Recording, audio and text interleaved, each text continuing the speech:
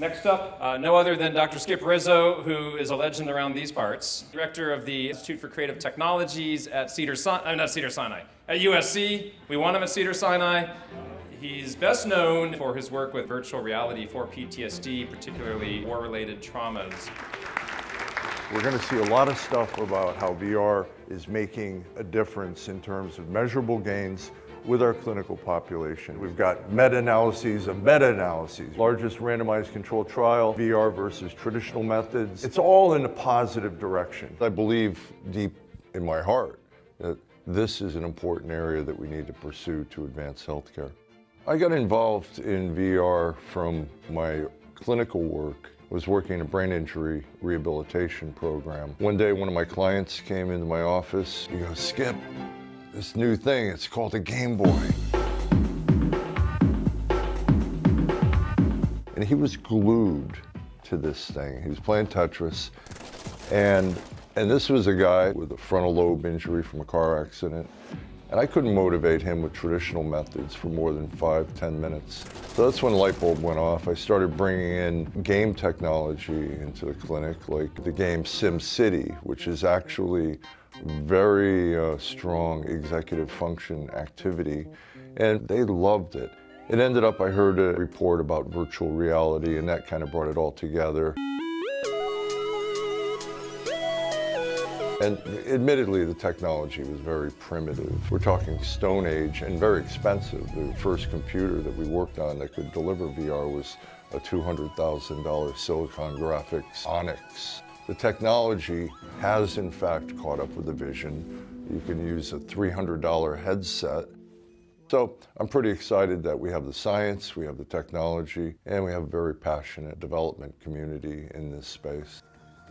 I would describe the work of our lab as falling in four major categories. In the area of psychological function, like our work with treating PTSD, or in helping people with autism improve their social skills. In the cognitive area, with children with attention deficit and other clinical conditions, physical and motor function, game-based rehab, and finally virtual humans with varying levels of conversational artificial intelligence. You can call me Bill.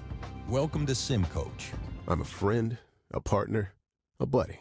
I won't let our vets down. This guy checks in with you. Teach people hopefulness skills by practice, you know. These aren't rocket science, they're simple things, but put in a format that's engaging that people want to use. And then finally, the thing uh, right now that I'm really, really excited about is our work with our colleagues in Kiev.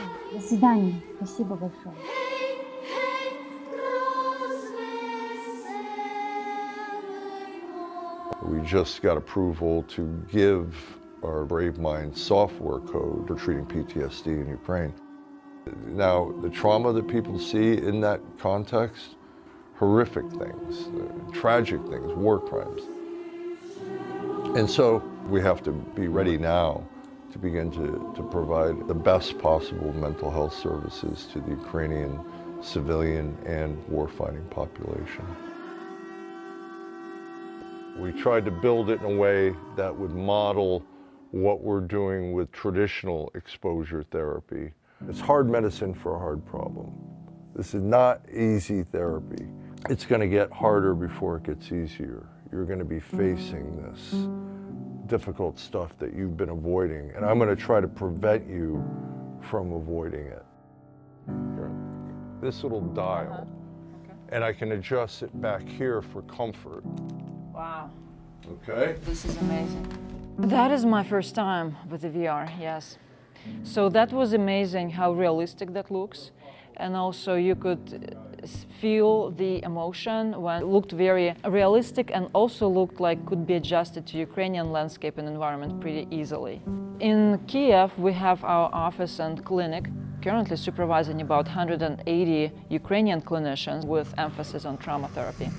Oh, Now, of course, with all of this large-scale invasion and, and, war in Ukraine, we are expecting to have several million veterans coming back from war and, of course, unfortunately having to deal with some PTSD and readjustment. This is basically why we're here. Up there, and he's going to fire an RPG at you.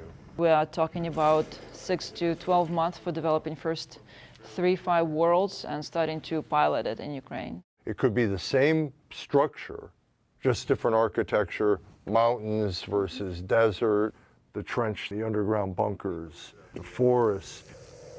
You getting a little uh, motion sick, or are you okay? Not yet. Okay. I served in the U.S. Army. I was part of the first group into Iraq. Okay, let's go back. You're on the road. Uh, child crossing the road there.